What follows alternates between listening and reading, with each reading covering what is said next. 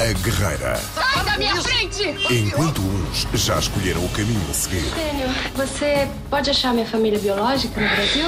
outros não fazem a mínima ideia do que os espera. Eu aceitei a proposta da Lívia para trabalhar. Theo é que não tem dúvidas.